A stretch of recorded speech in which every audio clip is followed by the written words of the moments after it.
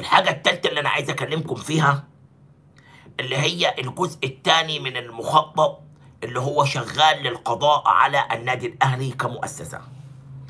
طبعا أنا قلت لكم موضوع تكسير أسامي الرموز وتكسير آه اسم كبير زي رئيس النادي الأهلي خصوصا لما يكون حد زي الخطيب بس وات ايا ايا كان الحد مين. ولكن كان لازم إهانة كرسي رئيس النادي الأهلي.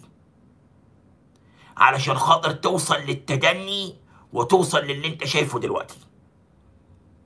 النهارده انت عندك بدأت حتى الكتايب الإلكترونية اللي هي بتكره مصر بدأت تاخد من اللي بيحصل وسيلة إن هي تبدأ تكسر في اللي حوالين محمود الخطيب.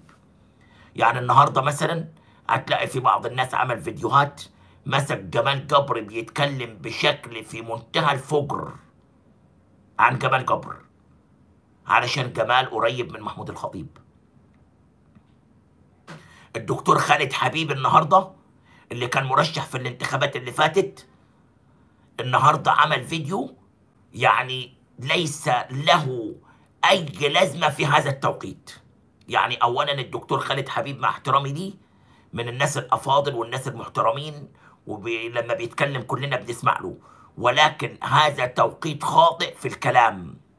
طلع النهارده في بث مباشر واتكلم عن المشاكل. أنا عايز أقول له طب يا دكتور خالد طب ما تدي الخطيب الهدوء والإمكانيات ودي مجلس الإدارة الإمكانيات اللي تنجحه بعد كده حاسبه.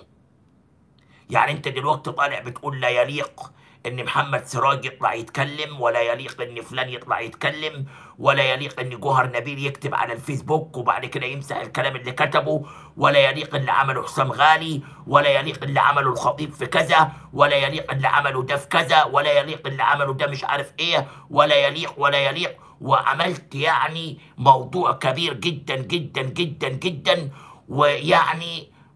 وقعدت ساعتين ثلاثة تتكلم فيه هل شايف إن في عدل وفي مناخ صحي متوفر لهذا المجلس عشان تقدر تقول نجح ولا سقط؟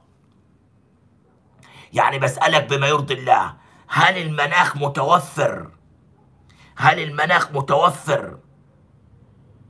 علشان خاطر حضرتك تتكلم عن نجاح وعن إمكانيات؟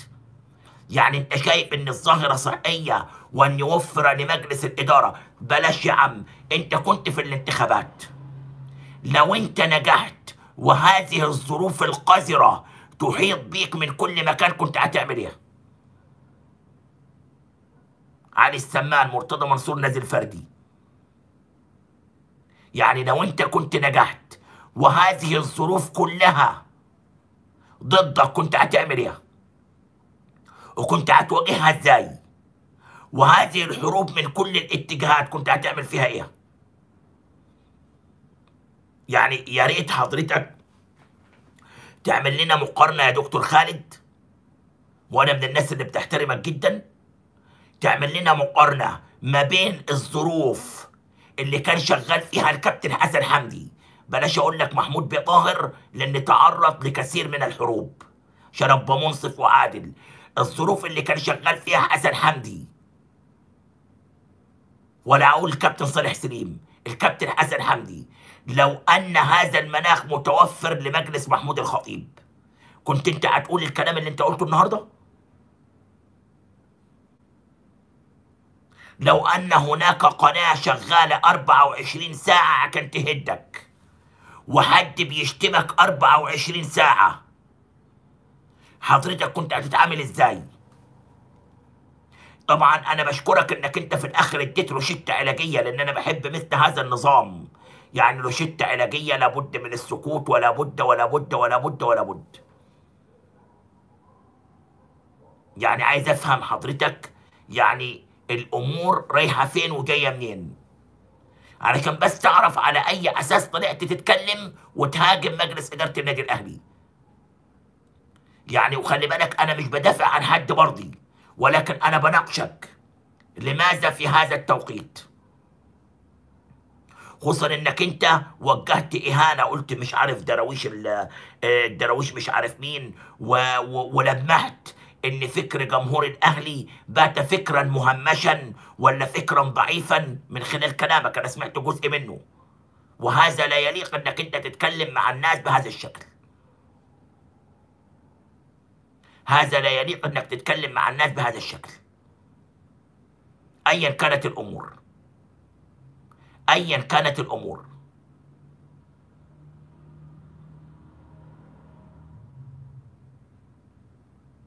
ايا كانت الأمور. والله يا محمد يا علي آه لمحة منك. أصل أنا آه يعني طلعنا اللايف متأخر فما ظبطناش النهارده. فأكيد محمد ابني نسي آه يحط المصحف رغم إن إحنا يعني المصحف ده أساسي معانا واخد بالك انت؟ ايا كانت الأمور. فما ينفعك ابدا تختار هذا التوقيت يا دكتور وإنك تتكلم فيه وإن كنت أنا يعني أشكرك على الروشته العلاجية اللي انت حطيتها في النهاية. الناس بتقول لي باهر المحمدي في الزمالك. طب خلينا نعمل تليفون كده معاكم. أهو.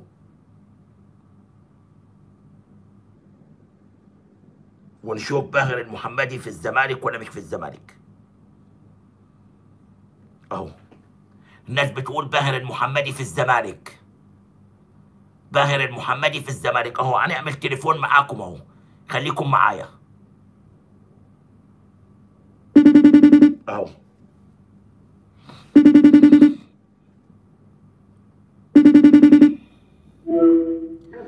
يا كابتن محمد شيحة.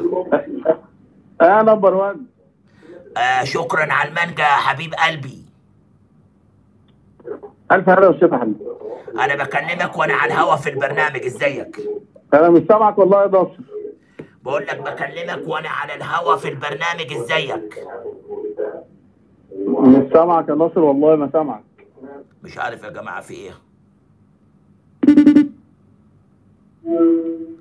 سامعني كده كويس؟ سامعني كده كويس؟ بقول لك بكلمك الناس بتسألني هل باهر المحمدي وقع للزمالك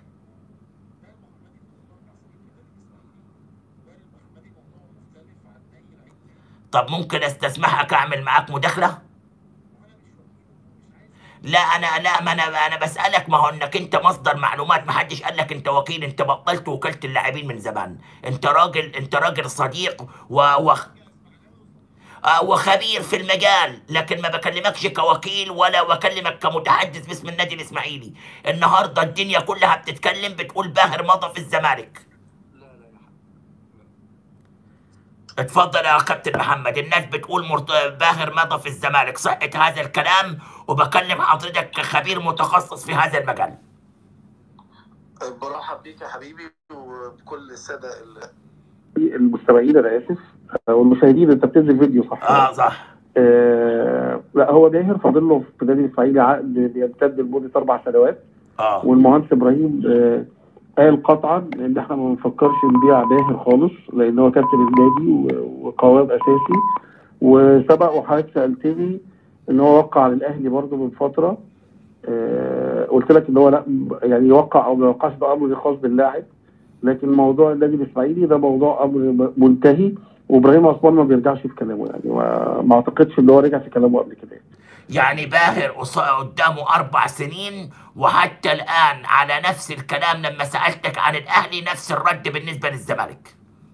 آه الحالة الوحيدة إن إبراهيم عثمان يفكر يبيع باهر المحمدي في ظل الأرقام اللي إحنا بنسمعها دي رقم أنا قلته والناس ما صدقتش وأنا بعيده تاني هو رقم 200 مليون جنيه. أنت بتاخد أحسن حاجة عندي. آه. فطبيعي إن أنا أطلب رقم أعجزك. هو رقم تعجيزي لكن ده واقع. النهارده شوف يعني لعيب كبير زي أحمد فتحي ولعيب كبير زي عبد الله السعيد. طيب باهر بقى اللي في أول مشواره. النهارده رمضان صبحي 3 مليون و600 استرليني آه، غير هو واخد 6 مليون دولار في يعني أرقام ما شاء الله الله أكبر يعني. فطبيعي إن النادي الإسماعيلي ما يرضاش يبيع لعيب زي مهم زي باهر آه، لغاية ما ياخد بطولة أو إنه يبيعه بالرقم اللي أنا بقول لك عليه دوت. يعني ما أعرفش برضه الناس بتؤكد بتقول لك آه، آه، يعني آه، كل يعني مرة قعدت التأكيدات أهلي أهلي. حبيبي برضه ما انت قلت لي في المداخلة قبل كده الناس أكدت إن هو وقع مع النادي الأهلي. وأنا بقول لك بمنتهى الهدوء إبراهيم عثمان مش هيقول